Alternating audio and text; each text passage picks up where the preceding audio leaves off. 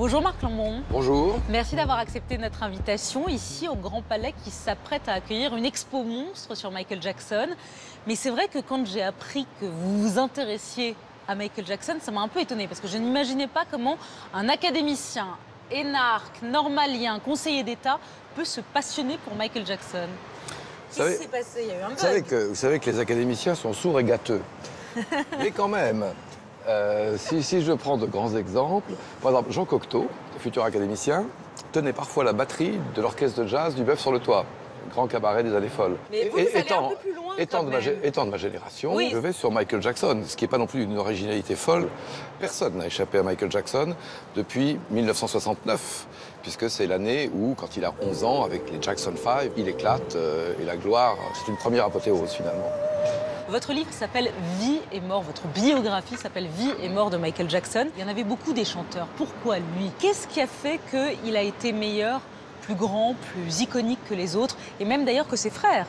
Pour moi, ce qui fait le, le- le cœur assez passionnant de Michael Jackson, c'est que c'est un être de lisière. C'est-à-dire qu'il est toujours euh, au bord de deux, de, deux, de deux vies, de deux réalités, comme notre époque. C'est-à-dire, c'est un enfant qui veut rester enfant en faisant une musique d'adulte.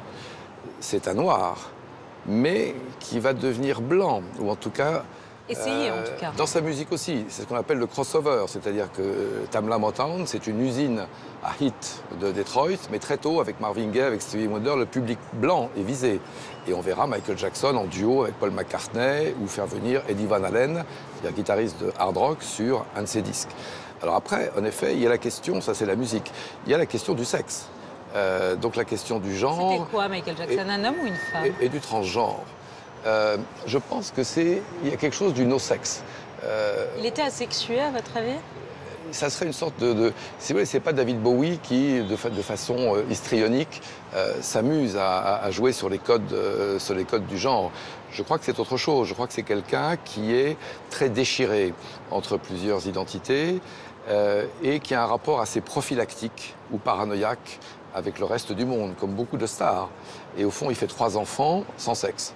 Et là, on va vers les problématiques assez modernes de la, de la PMA ou de la GPA, la question qui, qui- qui se pose aujourd'hui.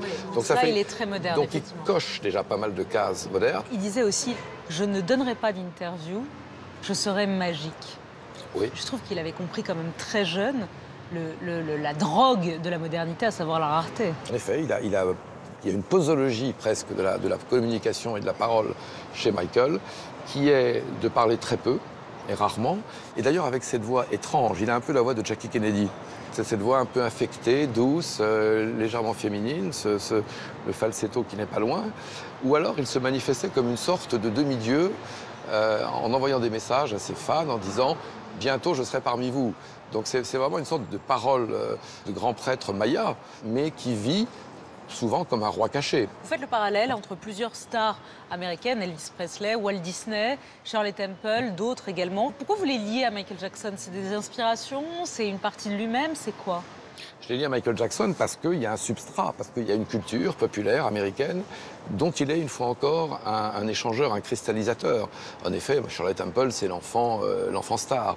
Euh, Fred Astaire, c'est le plus grand danseur, qui d'ailleurs se noircissait la face dans un de ses films euh, Swing Time. Elvis Presley, il en épouse la fille. Marc Lambon, il avait, des, il avait des héritiers, il a des héritiers Michael Jackson. Je, je ne vois pas aujourd'hui de telle, une telle synergie. Et puis on est peut-être dans- à, à bien des égards dans une ère post. Il y a beaucoup de post, post, post, post. Mais en revanche, il reste un, un monstrueux insecte fécondateur. C'est le macabé le plus productif du showbiz mondial. C'est-à-dire Oui, qu'annuellement, il génère encore des millions de, De vues, de- de- de- d'achats, de, disques, de, etc. de- dollars et de vues. Donc il y a une postérité des royalties, mais il y a aussi une postérité de la mythologie euh, Jackson, qui à mon avis sera pérenne parce qu'elle signe euh, peut-être 20 ou 30 ans de notre fin de 20e siècle. Dernière question, votre chanson préférée, Marc Lambon De Michael, je crois que c'est celle que j'entendais en 1983 quand j'étais à Madrid, dans le Madrid de la Movida. Et il y avait deux chansons, je dois dire, qui faisaient sauter le- la piste de danse. C'était Let's Dance de David Bowie et c'était Billie Jean. Et quand on arrivait, il y avait cette voix euh, aérienne et la guitare de David Williams derrière. Là, le, tout s'embrasait. Vie et mort de Michael Jackson, c'est votre biographie. Merci Marc Lambron. Merci à vous.